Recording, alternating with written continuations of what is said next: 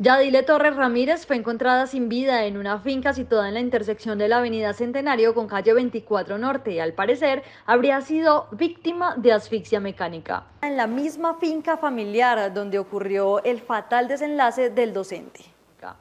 Supuestamente las dos personas ya habían sido amenazadas a través de un panfleto que advertía, si no se van, los matamos, por lo que surgió una hipótesis de disputa de tierras. En este momento, las autoridades adelantan la investigación para dar con los responsables.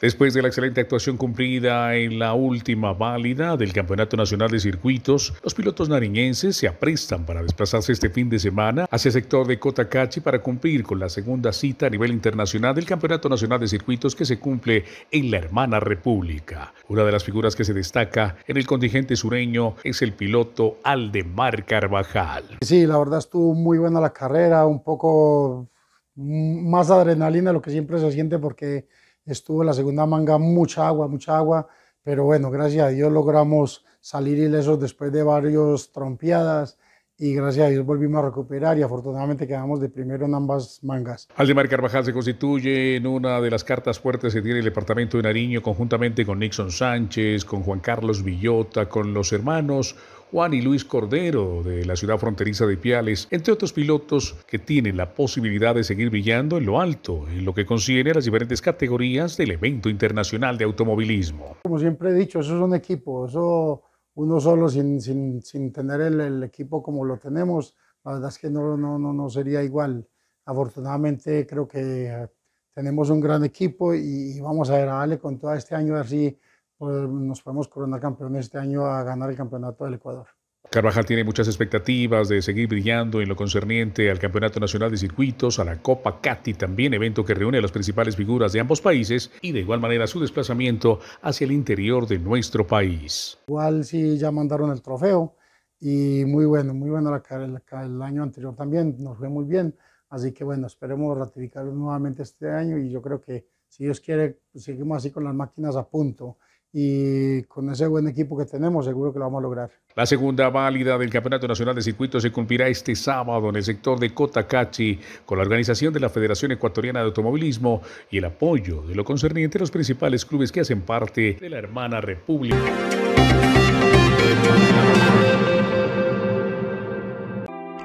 Protegiendo el patrimonio ambiental de los quindianos. Denuncie el tráfico ilegal de la fauna silvestre innovamos de manera constante de la mano con las nuevas tecnologías para que los servicios que prestamos sigan siendo de óptima calidad y contribuyan con el desarrollo y la sostenibilidad de la región. Es así como cumplimos estándares en sistemas de gestión de calidad y ambiental avalados por el ICONTEC en las normas ISO 9001, ISO 14001 e ISO 45001. Hemos crecido en nuestra planta física, hemos diversificado nuestros servicios y hemos realizado inversiones millonarias enfocadas en hacer de esta ciudad una Armenia más limpia. Todo esto ha sido gracias a ti, a tu esfuerzo y dedicación, a tu trabajo incansable y a tu compromiso con la empresa de todos y por la ciudad. Son 60 años que cumple Empresas Públicas de Armenia, trabajando por y para la gente.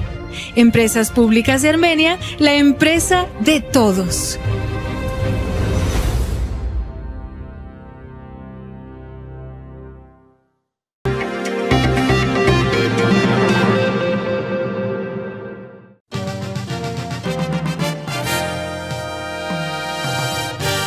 Todos los televidentes de Channel Plus y Canal CNC y a las personas que nos siguen en redes sociales, hoy es un gran invitado, un invitado de la música, de la salsa a nivel nacional e internacional, pero quien sea él quien nos cuente realmente sobre esa trayectoria en la música de la salsa. Kim de los Santos, bienvenido. Gracias Brian, eh, gracias a CNC y a Channel Plus también que estamos siempre en sintonía pues Kim de los Santos es un amigo de ustedes. Hace 50 años estamos celebrando 50 años de carrera artística, donde hemos tenido, gracias a Dios, muchas bendiciones dentro de la carrera artística. Pues soy cantante de salsa, nacido en Nueva York, criado en Puerto Rico Y actualmente estamos viviendo en Cali por una temporada, ya que hemos retomado otra vez la carrera artística después de un receso. Hemos vuelto nuevamente con más energía, eh, más positivos que nunca, eh, haciendo los videos de esas canciones que no tenían video que ustedes hicieron su favorita como y nos amamos como nos amamos. Eso que dice, soy tomatero, lo sabe usted. Recogiendo tomate sé que un día progresaré. Temas como estos que se grabaron en los 80, Brian, Los grandes hits. Los grandes éxitos de la época de la salsa dura y también ese tema, todo empezó hace un mes, cuando calmando su sed y dormida confundió mi nombre. Temas de los 80, finales de los 80, que fue la, el cambio de la salsa dura a la salsa romántica o salsa de alcoba, como mucha gente le dice, la salsa rosa. Pues venimos en esta nueva, en este nuevo resurgir con activando estos temas que tanto gustaron en esas décadas y que también los jóvenes escucharon de sus papás y sus mamás y ahora ellos están viviendo la fantasía de poder ver los videos. Claro. Antes no habían videos, Brian, y entonces se escuchaban las canciones, las cantaba, la gente cantaba las canciones, las disfrutaba, pero el que no tenía la, la facilidad de, ir a un concierto no, no miraba el cantante. Ahora pues tenemos las redes sociales, los videos. Claro, ya es, digamos que va cambiando la época un poco más va avanzando más, un tema más de tecnología, la gente puede ya empezar a ver quién realmente es el que canta, Exacto, cuáles son esos hits, lo que usted decía, esos éxitos que la gente realmente cantaba, que escuchaba en la radio, que se escuchaba en la radio, de hecho en el carro, cuando la gente colocaba los papás de uno cantando, cantando, Por ejemplo, Brian, mira, eh, acuérdate que estos temas se grabaron hace bastantes años atrás y este, una de las cosas era que eh, muchos de estos temas que trascendieron, que fueron clásicos de la salsa, eh, eh, muchos de esta juventud no habían nacido. Entonces, este, y los que habían nacido lo escuchaban a los papás, como tú bien comentaste, pero estaban, ellos no, no, ¿qué está pasando? Ahora, ah, mira, esas son las canciones que papi y mami cantaban, qué chévere. Mira, ese es él. Uh, mira, sí, porque tú sabes que han venido otros cantantes y han grabado nuevamente estas canciones que fueron clásicos, tienen derecho a hacerlo, para uno es un honor. Cuando yo escucho uno de mis temas cantado por otro cantante, a mí me digo, caramba, pues fue que le gustó mucho. Kim, una pregunta muy importante para los televidentes. ¿Cuál ha sido el éxito más fuerte de Kim de los Santos? Bueno, el más fuerte en los 80, porque hubieron dos etapas de la salsa bien, o sea, que tuvieron que ver mucho. La salsa de golpe, que es salsa de bailadores, y la salsa, sí, la salsa fuerte, Brian, y la salsa romántica. En la salsa de golpe, uno de los temas que entró por Barranquilla y que fue un clásico mundial de la salsa, que lo conocen los conocedores, los bailadores, fue el tomatero. ¿Cuál es? Ese que dice, si me dicen que soy un tomatero, contestaré que recogiendo tomates sé que un día progresaré. Y el coro dice, soy tomatero, ah, ah, lo sabe usted.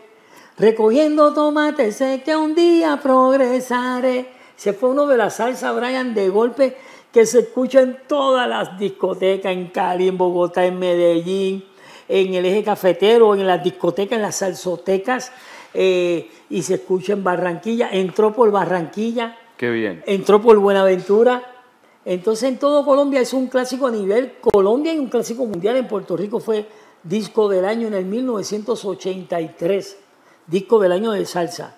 Eh, y después de ese, de ese salsa de golpe, el otro tema que, que entró, que rompió, dice, y nos amamos como nos amamos, pero que poco nos duró el placer. Fue tan difícil despertar sin verte, dejando marcas en toda mi piel. CNC, qué sabroso. No, qué bueno, Kim. Kim, cuéntanos de esos hits, un concierto que le haya quedado en la memoria. Pues mira, me viene uno en particular. Fue aquí en Colombia, en Guachené.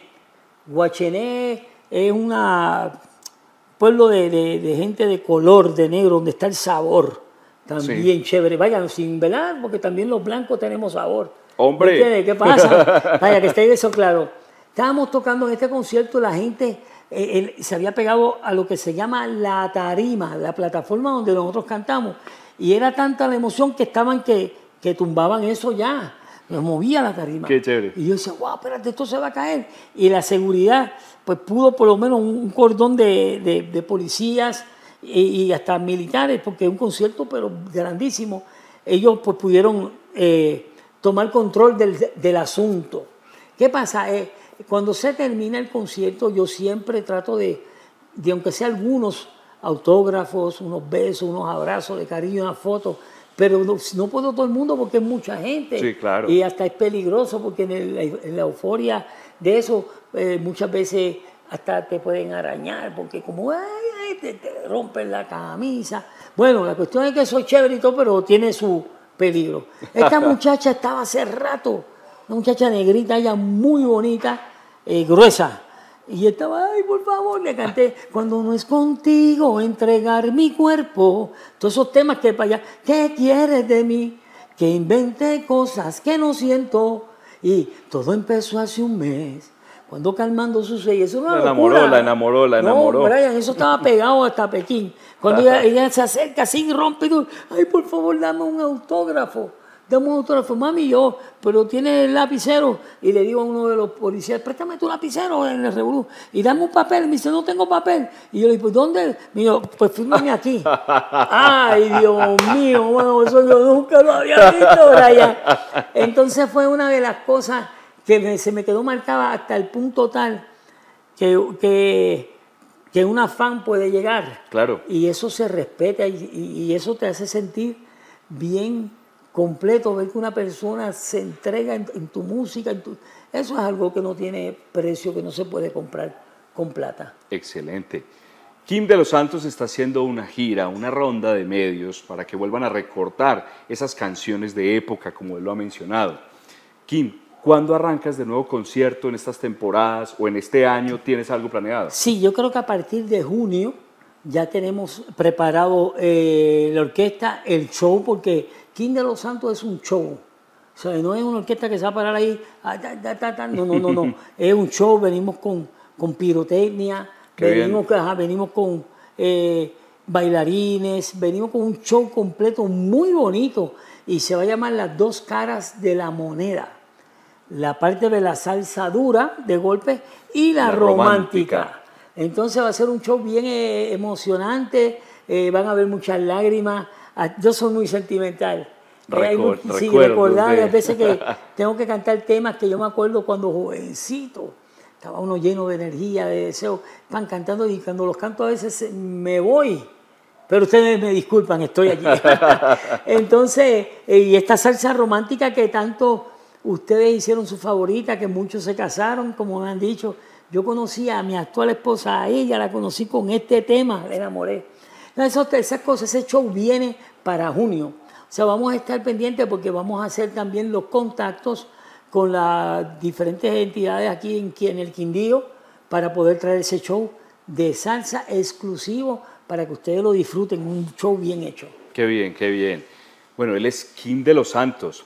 Síganlo en las redes sociales como Kim de los Santos, Instagram, Facebook, TikTok. Así mismo es, Brian. Brian, así como tú lo acabas de mencionar, Kim, K-I-M, de los Santos, en Facebook, TikTok, Instagram, eh, eh, YouTube, todas estas plataformas estamos como Kim de los Santos. Y ahí van a ver los videos, lo nuevo que se está haciendo, lo que se está haciendo con cariño para todos ustedes. Bueno, Kim, es un placer haberlo tenido acá, en Gracias. este especial, en este invitado especial para usted. Para mí es un placer poderlo entrevistar. Así Brian, que bienvenido siempre al departamento del Quindío. El placer es mío, mi amado hermano. Gracias a ti, gracias a CNC, a también a Channel Plus por esta oportunidad y gracias a Dios que es el que nos permite respirar y hacer todas estas cosas bonitas para este hermoso público. Amén, Kim. Amén. Chao, chao. Chao.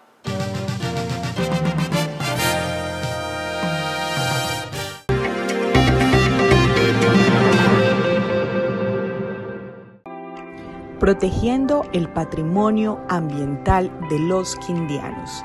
Denuncie el tráfico ilegal de la fauna silvestre. Innovamos de manera constante de la mano con las nuevas tecnologías para que los servicios que prestamos sigan siendo de óptima calidad y contribuyan con el desarrollo y la sostenibilidad de la región. Es así como cumplimos estándares en sistemas de gestión de calidad y ambiental avalados por el ICONTEC en las normas ISO 9001, ISO 14001 e ISO 45001. Hemos crecido en nuestra planta física, hemos diversificado nuestros servicios y hemos realizado inversiones millonarias enfocadas en hacer de esta ciudad una Armenia más limpia. Todo esto ha sido gracias a ti, a tu esfuerzo y dedicación, a tu trabajo incansable y a tu compromiso con la empresa de todos y por la ciudad.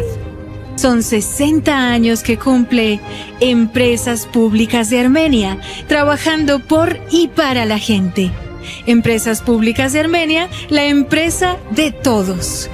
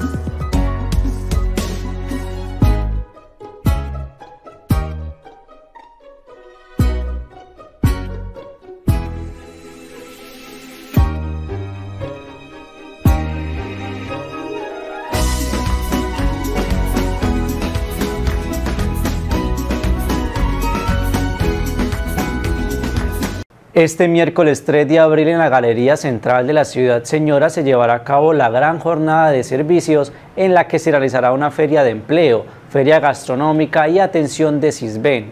Lina Isabel Quincosis habló con Einar Álvarez Monsalve, gerente de Bugabastos, e indicó que se adelantarán otras actividades para activar el lugar donde se comercializan los productos traídos del campo. Nos encontramos en Bugabastos, un punto importante para la ciudad señora y este miércoles se realizará diferentes actividades. Precisamente nos encontramos con el gerente de Bugabasto, Einar Álvarez Monsalve. Bienvenido a CNS y cuéntenos estas actividades programadas para este miércoles 3 de abril.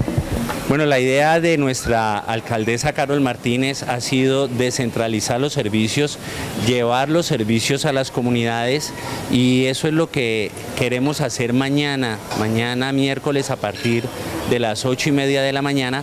Vamos a tener a la gente del CISBEN atendiendo acá en este espacio, Galería Central segundo piso, en la Galería Central en el segundo piso. Vamos a tener a la gente del CISBEN. Vamos a tener también una jornada de empleabilidad, que es la que se hace con la, con la Agencia Pública de Empleos para, para, dinamizar la recolección de, hojas de vida para diferentes empresas. También lo vamos a tener acá en este segundo piso de la galería. Y como complemento a toda esta actividad de servicios, eh, las cocinas de la Galería Central se han unido a hacer un festival gastronómico donde van a ofrecer los productos, la gente sabe y conoce de la tradición de la cocina que hay aquí en este segundo piso, eh, la calidad de sus productos eh, que se elaboran y sobre todo lo económico que son para su consumo. Entonces se ha querido aprovechar este, este espacio para que se pueda promocionar también toda la gastronomía que tenemos acá en la Galería Central. Bueno, Iner, precisamente eh, uno de los propósitos es impulsar este sector, esta parte de Bugabastos. Eh, cuéntenos un poco, digamos, cuáles son esos trabajos que se van a desarrollar aquí. Sí, como te decía, esto sería como una, como una prueba piloto que queremos hacer. Eh, la parte de arriba de este segundo piso de la Galería Central ya lleva mucho tiempo, una, gran parte sin ha sido como subutilizado, no ha tenido como un uso concreto. Entonces, con nuestra alcaldesa Carol Martínez, la idea es que si hacemos este tipo de actividades con frecuencia, podemos mirar a futuro que en este sitio pueda funcionar algunas de estas dependencias y eso no solo sería aprovechar ese espacio que se tiene, sino también darle aprovechar que esta movilidad de gente que viene a utilizar estos servicios pues consuma los productos tanto de la parte de arriba del restaurante, así como también que, que merquen y que, y que conozcan los productos y los servicios que ofrece la Galería Central. Digamos que esa es una de las problemáticas, pero como usted como gerente en estos últimos meses ya eh, en posición, eh, ¿qué otras eh, problemáticas se, se puede encontrar aquí? Pues a ver, lo que tenemos en la Galería Central y lo que hemos hablado ya varias veces en, en Comité de Espacio Público, en la Administración, nuestra alcaldesa es conocedora de, esa problemática y estamos pendientes a realizar varias actividades respecto a eso y tiene que ver con el tema de, de la ocupación y la invasión del espacio público que tenemos en el sector del planchón y en las calles adyacentes a la Galería Central. Como te digo, no es, no es una problemática que, que nosotros como gerencia podamos abordar porque ya es un tema de espacio público que se va a abordar desde las secretarías de gobierno y de movilidad. Con ello se va a realizar una, una estrategia tanto de, de hacer como un, un, censo y ver qué opciones se le van a presentar a esta gente que, que viene a vender esos productos tanto en la zona del planchón como en las calles adyacentes a nuestra galería central. Esas son las actividades que se van a realizar, entonces pues la invitación es para mañana, a partir de las 8 de la mañana, diferentes jornadas de cisbenización, gastronómico. Eh, ¿Hasta qué horas va a estar? Eh, yo creo que estaríamos tipo 2 de la tarde. La idea es que toda la comunidad bugueña venga y aproveche esos servicios de, entrega de hoja de vida para, para posibilidad de ubicación en un trabajo, de revisar eh, lo que tiene que ver con, con la encuesta y con el CISBEN y de aprovechar este festival gastronómico que vamos a tener aquí con las cocinas de la Galería Central. Bueno, muchas gracias, gerente Einar Monsalve, eh, Álvarez Monsalve. Esperamos pues entonces la participación de toda la comunidad en esta jornada que busca pues eh, levantar o resaltar esta, este punto importante de la ciudad señora protegiendo el patrimonio ambiental de los quindianos. Denuncie el tráfico ilegal de la fauna silvestre. Innovamos de manera constante de la mano con las nuevas tecnologías para que los servicios que prestamos sigan siendo de óptima calidad y contribuyan con el desarrollo y la sostenibilidad de la región. Es así como cumplimos estándares en sistemas de gestión de calidad y ambiental avalados por el ICONTEC en las normas ISO 9001, ISO 14001 e ISO 45001. Hemos crecido en nuestra planta física, hemos diversificado nuestros servicios y hemos realizado inversiones millonarias enfocadas en hacer de esta ciudad una Armenia más limpia. Todo esto ha sido gracias a ti, a tu esfuerzo y dedicación, a tu trabajo incansable y a tu compromiso con la empresa de todos y por la ciudad. Son 60 años que cumple Empresas Públicas de Armenia, trabajando por y para la gente. Empresas Públicas de Armenia, la empresa de todos.